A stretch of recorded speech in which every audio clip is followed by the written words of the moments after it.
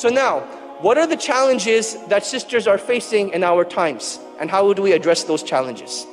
One of the biggest challenges I feel that the sisters face is that of modesty.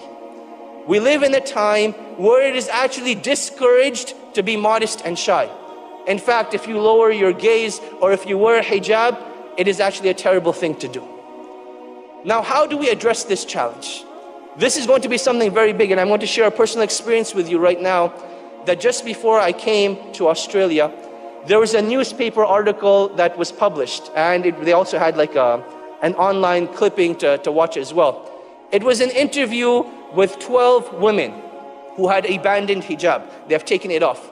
They felt that it held them back. They felt that, you know, it wasn't right for them. They felt as if they couldn't be who they wanted to be through the wearing of the hijab, so they took it off.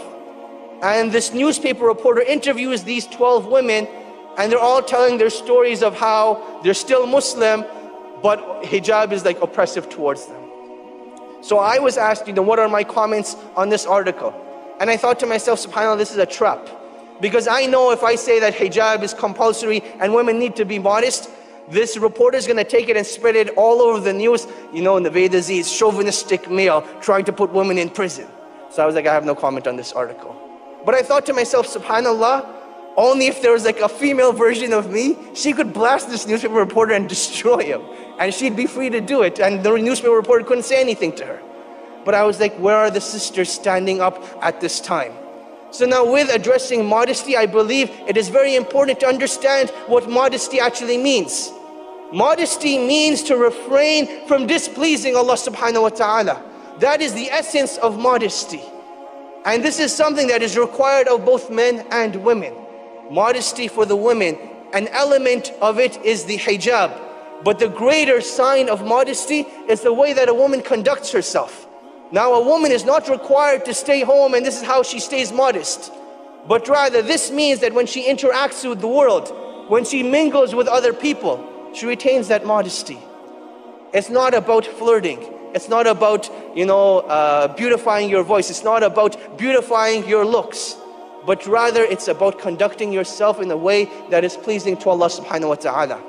And this is something that the sisters need to be very careful of. Because you'll notice that throughout time, things are actually getting worse from two angles.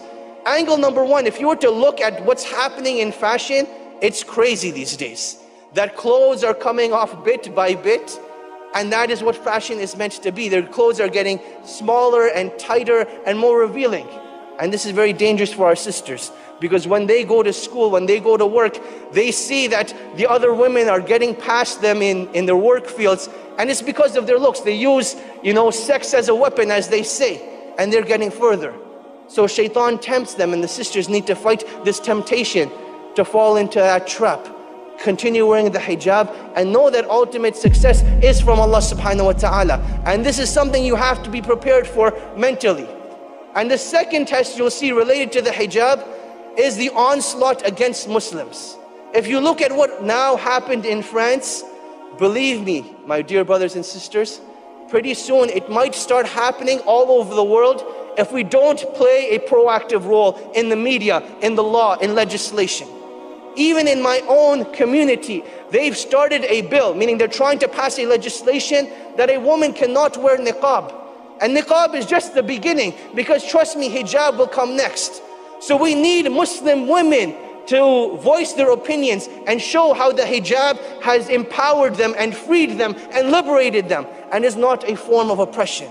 Dear sisters, I plead towards you that stand up and voice your opinions. Because if we as men try to do it, we are labeled. But if you as women do it, then this is where the true empowerment can take place.